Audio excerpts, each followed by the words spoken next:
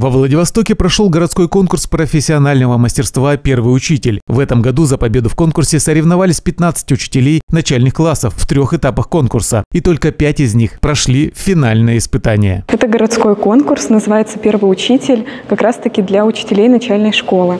Испытания были разные, э, чтобы раскрыть нас как профессионалов своего дела.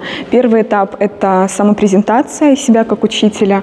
Мы рассказывали о методах, которые используем, о своих достижениях и Блиц-турнир, где решали разные педагогические ситуации с которыми, в принципе, сталкиваемся ежедневно.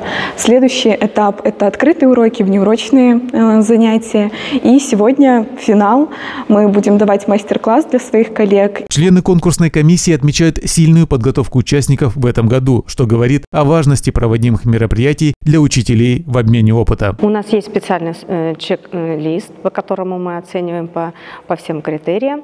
А, вот, и э, очень трудно бывает это сделать, потому что все достойны, все могут работать с молодыми, э, своими подопечными. Вот.